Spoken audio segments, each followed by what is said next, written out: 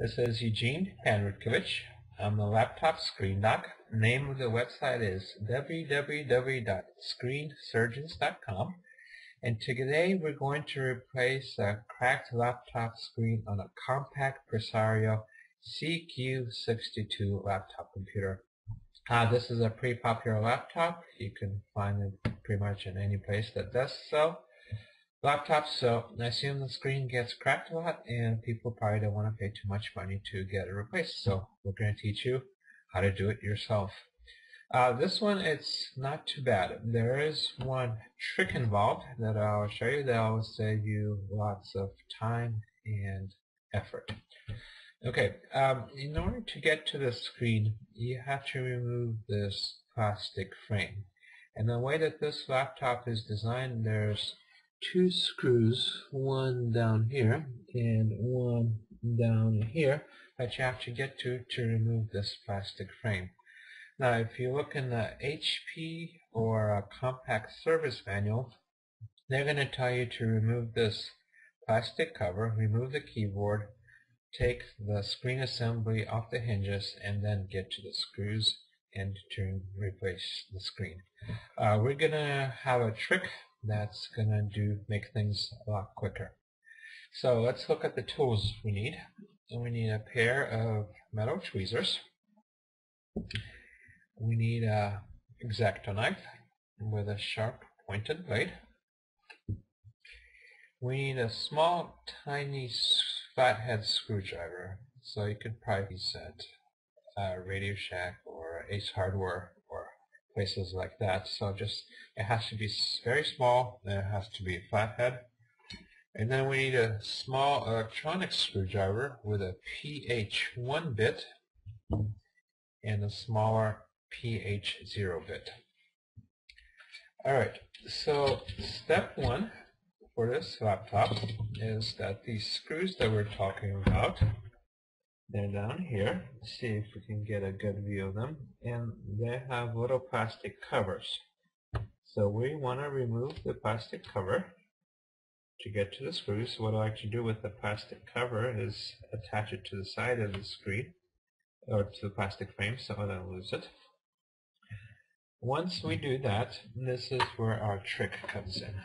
So we have to use the screw, the screw to remove screwdriver to remove the screw at an angle. That's why we use a small one. So what I like to do is tilt the laptop and put a lot of pressure and loosen the screw and it comes out. So that's one screw and put that keep different sets of screws in different piles. Alright, next we're going to do the exact same thing on this side. We use our we use our X-Acto knife to remove the plastic cover. And then we use our small screwdriver. Okay. Put a lot of pressure at first. You don't want to strip the screw. Sometimes they're hard sometimes they're easy. This one was relatively easy Alright, so I'm going to remove these, this screw. Alright, so next we have to remove the plastic frame. And this is probably the second hardest part of the job. We just did the hardest part of the job. What I like to do is grab from the screen side with my fingertips and gently start prying up until I hear snapping sounds. Once I hear snapping sounds, that's a good sign. I also hear the adhesive coming off. So we go slowly. Try not to break the spring. Sometimes you end up breaking it. So that's okay. So go slowly. Let the adhesive come off slowly. It's coming. You can even see the adhesive so coming up. Okay. And then we get to the bottom. Okay, keep going. The bottom has adhesive. It, this will probably take you little longer than it takes me because obviously I've done this before. But take your time.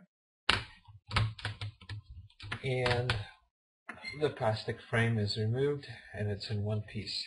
So we have some adhesive. What I like to do is remove it. And when we put this frame back on, it's going to be without the adhesive. So Eh, you, you won't notice the difference. Okay, so it's off. And we toss the adhesive out. Oh. Okay, we put the plastic frame to the side. Now let's take a look see what's going on with the screen assembly. The screws that are holding the screen are on some metal, are attached to metal brackets on the sides, like so. And we have to get to these screws. So right now they're too far in to get to with a screwdriver. So what we need to do is tilt the screen assembly forward a little bit. And in order to do that, we remove these screws on top. One and two. Once again, keep the screws separated so you know what goes where. Okay. Let's see if we can tilt the screen assembly forward a little bit. We can, but it's not enough to get to the screws at the bottom. So I have another trick for you is you loosen these screws on the bottom not remove them just loosen them and what that does is lets us tilt the assembly forward a little bit so we can get to the screws on the side so loosen the three screws and let's try again so like this and that gives us enough room to get to the screws. So this is where we go to a thinner pH 0 bit to get to the screw. Okay, we have one, there's two screws on each side. There's one. And when you do this, have the screen tilted back a little bit so when the screen is loose, it doesn't, it doesn't just fall forward on you because there's a connector on the back. Okay, so there's two, and keep the screws together. Alright, let's turn it around the other way again. And let's get to this side. We use the smaller PH0 bit to get to it.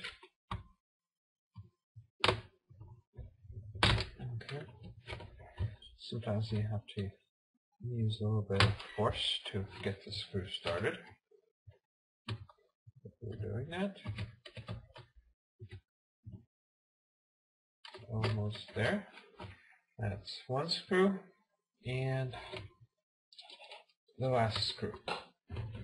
Okay, make sure this, once again, the screen doesn't fall forward on you when you release this. Okay, now this particular laptop does not have a webcam, but if it did have a webcam, the cable would have some adhesive that attaches to the back of the screen, so you have to loosen that. So be careful with that. But in this case, we just tilt the screen forward and we see what's going on in the back. So this is a LED screen and only has one connector. So we have to remove this connector. It has some plastic tape on top that we have to lift up first like so. And usually there's adhesive on the back, but in this case, a little bit. And then we just pull this connector back, like so. And the screen is off. So let's take a look at this screen. This is a 15.6 inch LED screen. As of early 2011, this is the most popular screen out there for laptops, so you shouldn't have too much trouble finding it. Okay, let's take a look at the part number. Okay, get good focus. The part number is LP156WH2. That's all you need to know. LP156WH2, and that's what you do your search on. And um, the other thing to notice that this screen has a glossy finish, as most screens do, so no, no problem there. And um, about 99% of the screens have the connector on this side.